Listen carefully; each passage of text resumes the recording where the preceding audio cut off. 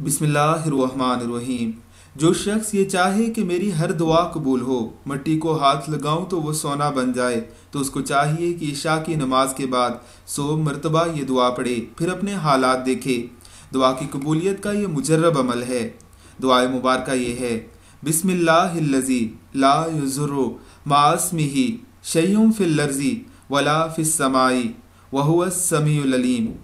जो शख्स ये चाहे कि मेरी हर दुआ कबूल हो, उसे ये सौ बार ईशा की नमाज़ के बाद पढ़नी होगी। ये एक मुजरब अमल है जो बहुत ही पुरअसर है। अल्लाह हम सबको तोफ़ी कता फ़रमाए। आमीन, सुमामीन।